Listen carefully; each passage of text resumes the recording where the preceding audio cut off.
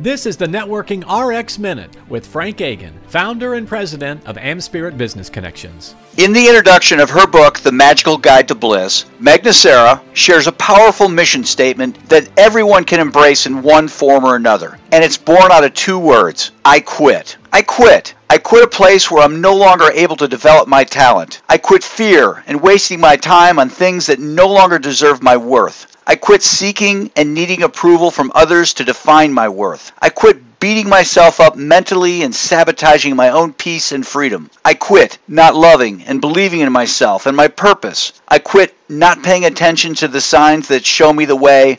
I quit and surrender to love and bliss. Quitting is often considered a bad thing. However, Nocero's quitting marks the first step on the road to success. With that, what are you going to have the courage to quit? Want more insight, inspiration, and professional networking tips? Subscribe to the full Networking Rx podcast. Find it through your app store or through frankagin.com. F R A N K A G I N.com. Thanks.